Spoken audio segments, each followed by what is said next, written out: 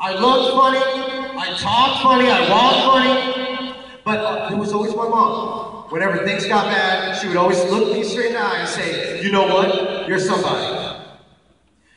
She would say that. When I would have a really bad day, she'd say, Giovanni, stop it, you're somebody. And that's why I stand here in front of each and every one of you today and say that you're somebody. Regardless if you're black or white somebody.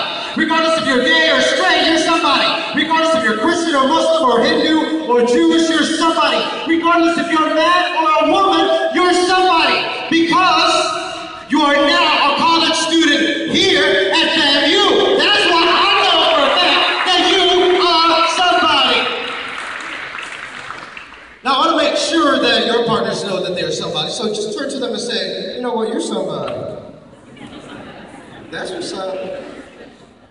Okay, girl from 305, she's like, you're somebody, what's your number?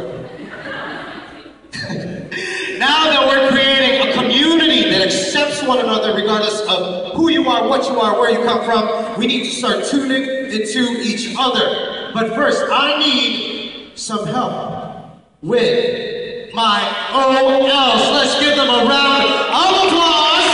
They've been working all hard. Come on, up, come up on stage. Come up on stage. Right.